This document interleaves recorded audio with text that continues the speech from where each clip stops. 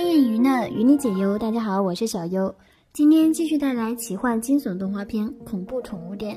纽约的中华街有一家神秘的宠物店，店老板叫做伯爵。这家宠物店什么都有，可以满足任何人的需求，前提是不要违约，不然后果自负。第三集绝望。故事开始，雷欧警官接到了一个案子，死者是一位名叫罗宾的演员。罗宾这演员比较传奇，他出道即是巅峰。拍的几部电影均获得了不错的票房，后来他就没有什么成功的作品了。由于罗宾身上没有外伤，警方初步认定是单纯的病故，但雷欧发现了两处可疑的地方：第一，地上打翻的化妆盒；第二，罗宾的脖子上有一只白色的死蜥蜴。随后，雷欧调查了罗宾的档案，发现罗宾是有妻子的，只不过他和妻子分居了，而那只白蜥蜴只有伯爵的宠物店有卖的。画面一转，雷欧拿着高档甜点过来讨好伯爵，希望伯爵提供一些和罗宾有关的线索。吃完点心，伯爵就告诉雷欧，罗宾非常喜欢冷血动物，他已经从我这里拿走了好多蜥蜴和蛇，而他的妻子非常讨厌冷血动物，所以就搬了出去。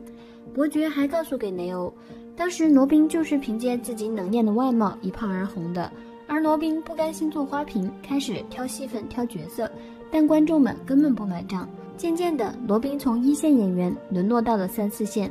说完罗宾的过去，雷欧就问伯爵：“你最近一次见罗宾是什么时候？”伯爵回忆：“大约是两个月前吧。”两个月前，罗宾来到宠物店购买新的宠物，于是伯爵就向罗宾介绍了一只非常稀有的白蜥蜴。罗宾很诧异：“这不是一位美女吗？”伯爵却说是蜥蜴，只不过它是一种稀有品种。罗宾继续问：“为什么蒙着面纱？”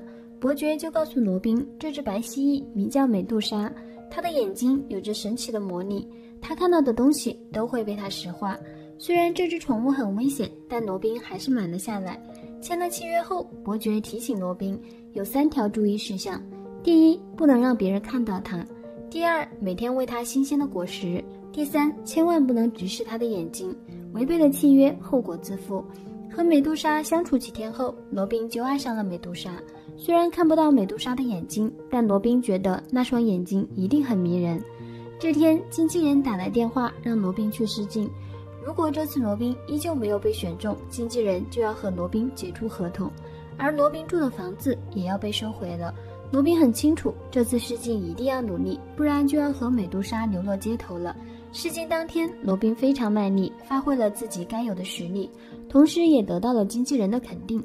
结果导演依旧没有选罗宾，而是选了一位小鲜肉，因为小鲜肉的美女经纪人和导演有一腿。罗宾落选了，也就意味着罗宾没了工作，房子就要被经纪人收回了。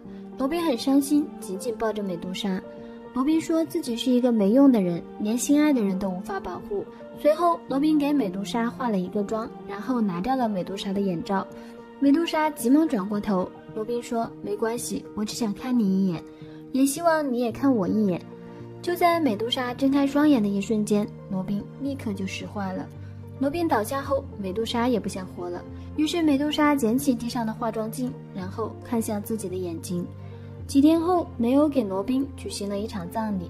前来悼念的人们不再议论罗宾是否过气，而是称赞罗宾是一位好演员。而伯爵带来了美杜莎的骨灰，他打算将这对恋人埋在一起。故事到这儿也就结束了。电影娱乐，与你解忧，下次再见。